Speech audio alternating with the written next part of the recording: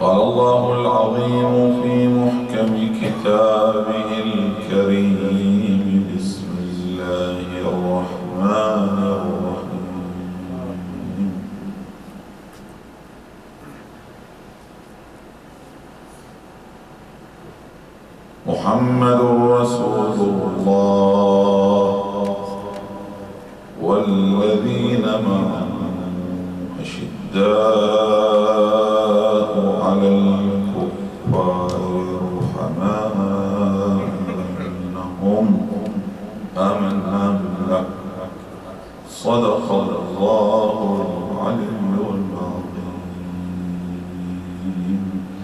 نور مقامكم بذكر الحبيب المصطفى النبي الأكرم محمد وآل محمد.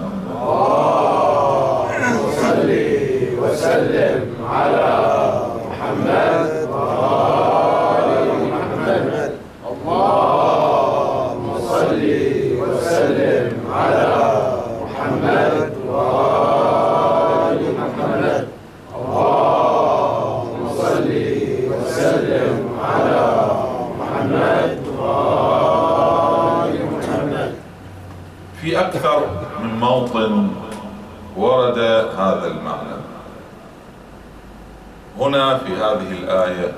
المباركة محمد رسول الله والذين معه أي المؤمنون أشداء على الكفار المقطع رحماء بينهم. في آية أخرى يا أيها الذين آمنوا من يرتد منكم عن دينه فسوف يأتي الله بقوم يحبهم ويحبونه. ها؟ ماذا؟ أشداء على الكفار رحماء بينهم عدل في أكثر من موطن ورد هذا المعنى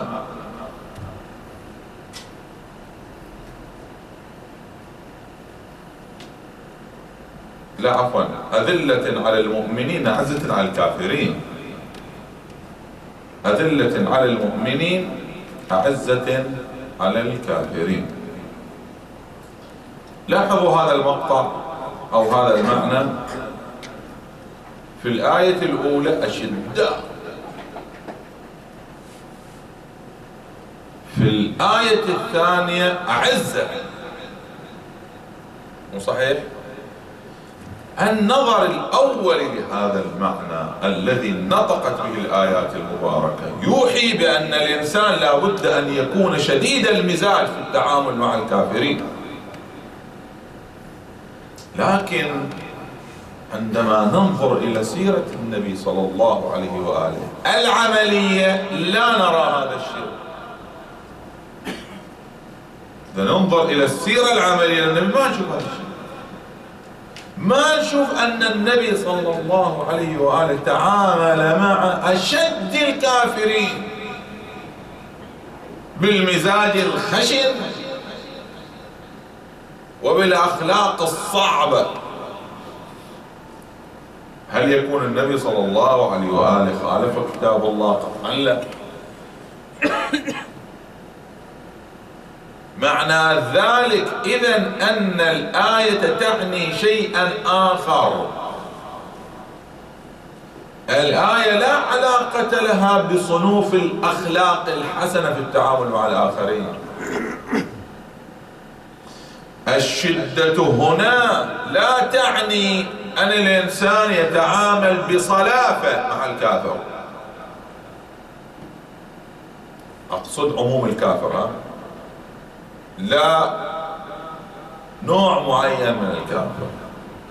العزة هنا أعزة على الكافرين لا تعني أن الإنسان يتعامل بتكبر وتبختر أمام الكافر.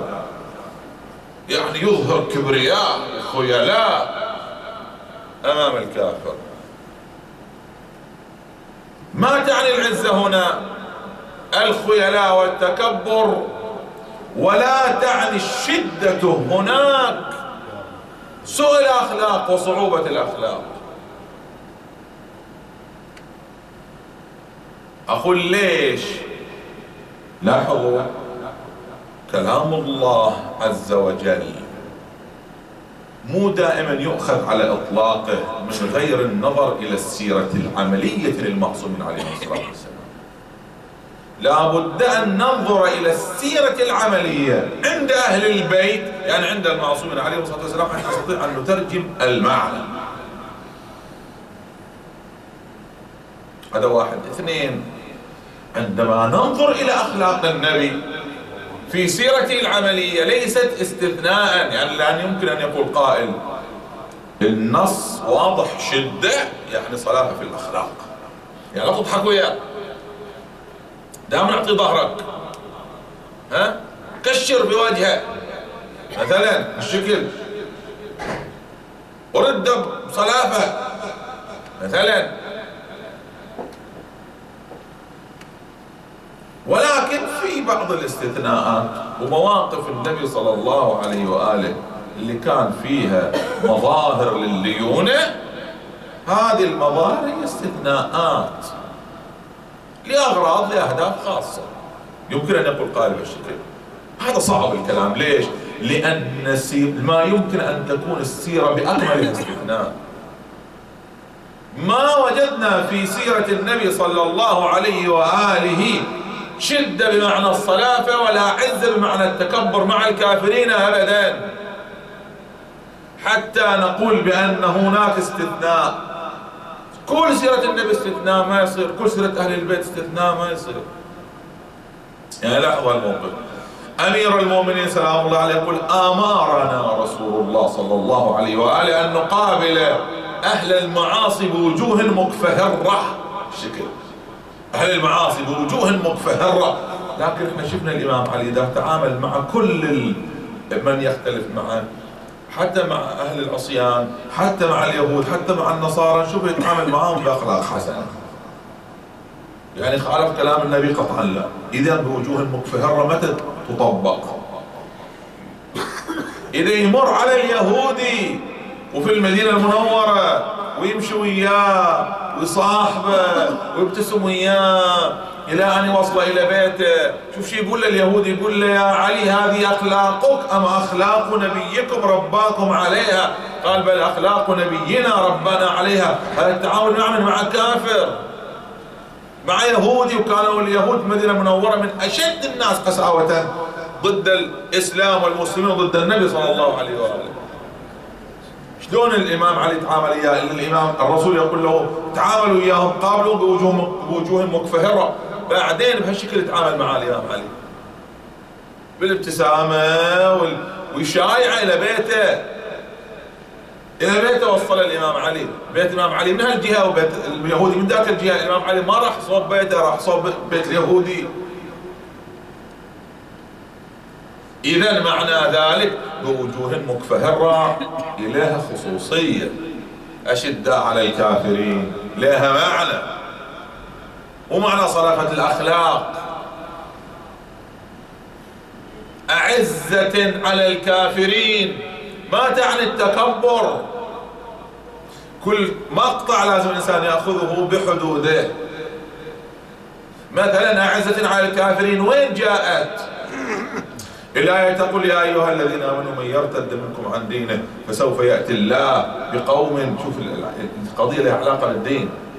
من يرتد منكم عن دينه يعني من يترك دينه ويروح لدين غيره. دين الكافرين يعني. إذا واحد سوى هالشكل الله بيجيب فسوف يرتد فسوف يأتي الله بقوم يحبهم ويحبونه. ها؟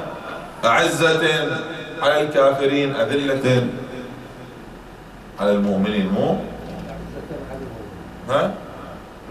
إيه أدلة على المؤمنين أعزة على الكافرين. زين ما عليه تعال للعزة هني.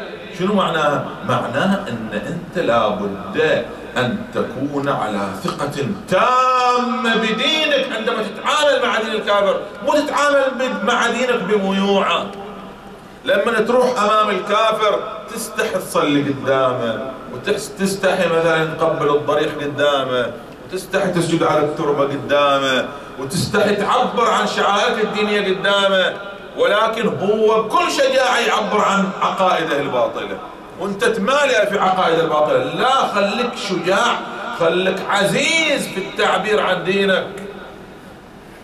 الطرف المقابل أساسا رايح يتعامل مع دينك بثقة إذا أنت اظهرت تلك الثقة، أما إذا أنت أظهرت امامه الليونه أو الميوعة الدينية أمام دينك ولكن لما تتعامل مع دينه تظهر العزة. طبعا هذا السبب اللي يخلي الإنسان يعدل من دين لدين الآخرين. يعني كأن في داخله هو ما عنده قناعة بدينه. لا لما تتعامل أمام الكافر بدينك تتعامل بعزة هذا ما له علاقة بالأخلاق وغير الأخلاق. أن تتعامل مع مع الطرف الآخر بسوء أخلاق ما له علاقة مثلا أشداء على الكافرين رحماء بينهم. شلون شديد على الكافر؟ هذا له عدة احتمالات. أولا الكافر على الكفار أحسن. أشداء على الكفار. الكافر هنا من هو؟ الكافر هذا أولا أحد أول احتمالاته الكافر الحربي في ساعة الحرب. هذا واحد من الاحتمالات القريبة جدا. إيه في ساعة الحرب؟ ما في لعب في ساحة الحرب. صحيح ولا لا؟ لأنك إذا ما تعاملت بشدة وأظهرت قوتك وشدتك أمام الكافر ها؟ قد يجد في ذلك فرصة سانحة للقضاء عليك وقد أيضا يعطيه أيضا ثقة أيضا بما هو عليه. بينما إذا شافك أنت أيضا أظهرت الصلابة والقوة في القتال والعزة في الانتماء للدين. طيب هذا خب يفت من عزيمة الطرف المقابل ويخليه أيضا ينظر إلى دينك على أنه دين إله إله معنى. عندما يجي ذاك الرجل عبد الله بن حذافة السلمي إلى ملك الفرس ويجيبوه مكبل بالحديد. زين؟ وكان أسير. وكان بحسب ظاهر الرواية كان أقل الناس جمالا بين سائر المسلمين. وجابوه يتفرجون عليه. شوف إيش قد كانت عنده عزه قال أنتم ليش جايين لنا من ديك البلاد العربية؟ بلاد بدائية جايين لحضارة. حضارة الفارسيه قال أتينا ندعوكم إلى عبادة الله وحده. ثقة. بثقه هذه الثقة لما الطرف الثاني يشوفها ها؟ تعطيه اعتبار نظرة اعتبارية خاصة للشيء اللي تنتمي إليه أما إذا أنت رايح تعبر عن دينك أمام الآخرين وأنت أنت مقتنع فيه أو ما عندك ذيك القوة والصلابة في الاعتقاد بدينك والتعبير عنه والدفاع عنه. يعني تظهر شدة في الدفاع عنه أيضا. الطرف المقابل أيضا يقول ده هو أساسا ما مقتنع بدينه جاي يبلغ لي أنا. هذا ما له علاقة بالأخلاق. أبدا ما له علاقة بالأخلاق.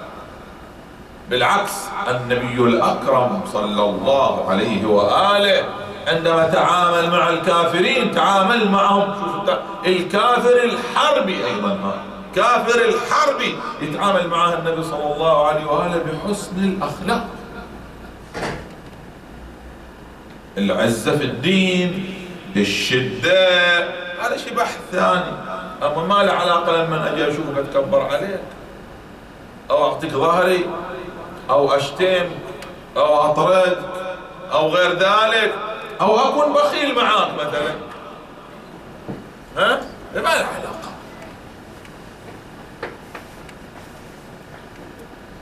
المشكلة أن بعض المسلمين قديما وحديثا وإلى الآن شوف إحنا هذا عند الخط السلفي المتطرف الآن الفهم الظاهري للآيات من دون الرجوع إلى إلى عمقها ولا إلى السيرة العملية للمعصومين عليهم السلام. أو يمكن بعض الأحيان يروح يفهم يفهم الآية من خلال سيرة غير المعصومين. يقول شوف دك فلان شنو سوى. اي ندري إذا سيرة غير معصوم سيرة غير المعصومين مليئة بال... بال... بالقاذورات. تروح تطبقها على تطبق الآية عليها وتطبقها هي على الآية. كل مجرم في التاريخ تقول والله برر عمله بأنه كان أشداء من, الأشداء على الكفار. أما في سيرة المعصومين ما وجدنا هذا الشيء. اكو أكو عاصي أعظم من مروان بن الحكم. ما أعتقد أنا يعني كان عاصي في زمن الإمام الحسن على الأقل أقول يعني أشد من مروان بن الحكم. يبدو هذا من أسوأ من أسوأ قمة السوء في بني أمية. مروان بن الحكم. ومع ذلك هو يتكلم عن الإمام الحسن. هو نفسه يتكلم عن الإمام الحسن.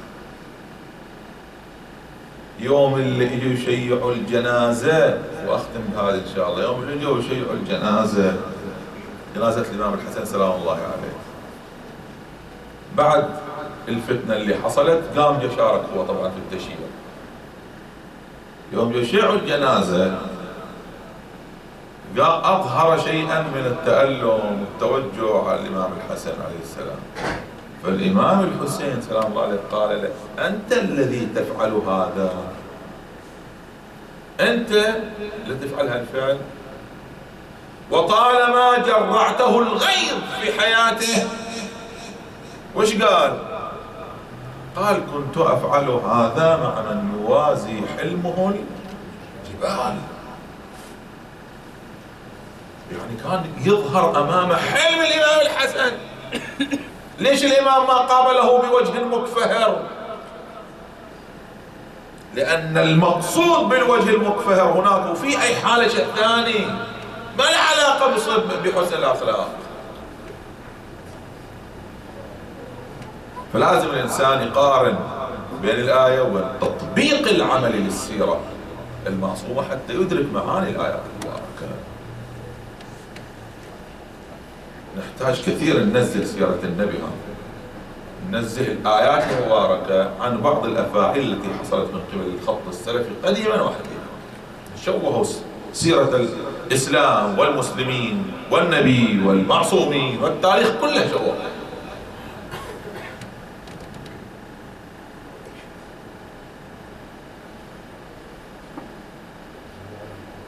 ولا أدل على ذلك من تلك الصرخة التي خرجت وهذه بذور الخط السلفي كانت. وبتلك الصلافة والنبي الأكرم صلى الله عليه وآله طريح. يقول بعض الروايات أن المسلمين بعدين صار يأفقفوا وليش ما رديتوا أنتم عليه؟ النبي أمامكم مدد. والآيات المباركة تقول وما ينطق عن الهوى إن هو إلا وحي يوحى.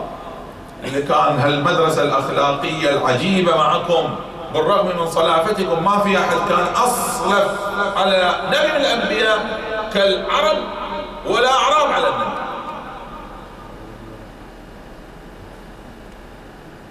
قال حسبنا كتاب تصور يعني شلون قالها يعني مثل الآن أنا أقولها الشكل حسبنا كتاب الله كطرح ثقافي يعني لا مو تخافي. صلاته حسبنا كتاب الله. الشكل أمام من؟ أمام النبي صلى الله عليه وآله. وفوق هذا أيضا يتهم النبي صلى الله عليه وآله بالخرف سبحان الله ما حد رد ما حد حكى والنبي ما يريد ذا كلام ثاني كل اللي موجودين حكى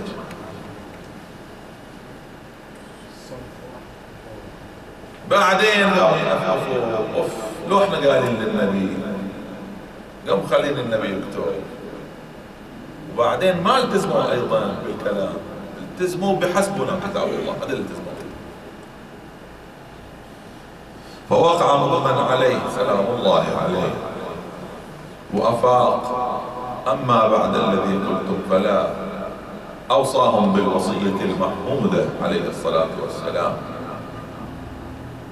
وإذا بملك الموت جاء الرواية تقول لما خرج. الناس لأن النبي صلى الله عليه وسلم في الرواية أمر أن يخرج كل أصحابه. أدق الروايات عندنا تقول أن الذي بقى مع رسول الله صلى الله عليه وآله فقط علي وفاطمة والحسنان في داخل الغرفة يعني يعني فاضت روحه المقدسة ومعه هذه الأرواح الطاهرة. بالإضافة طبعا إلى جبرائيل وميكائيل وملك الموت. قال أنفذ يا علي لما أمرتك به فاطمة فإني أمرتها بأشياء أمرني بها جبرائيل.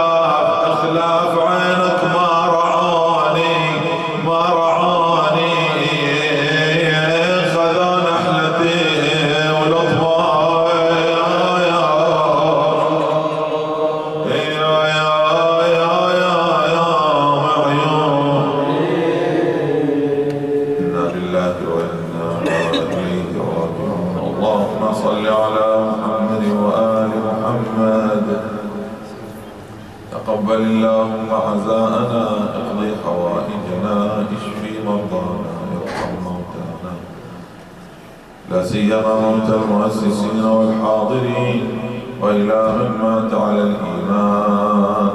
نقضي للجميع ثوابا مباركة الفاتحة تسبقها الصلاة على محمد